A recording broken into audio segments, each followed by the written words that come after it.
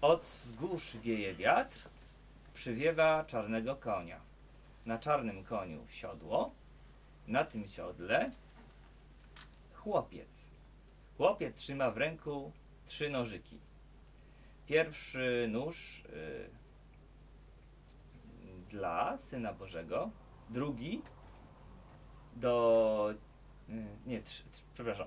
Trzy, trzy noże na Boże Narodzenie, tak? Bo oni mają jakieś takie symbolika, tradycja.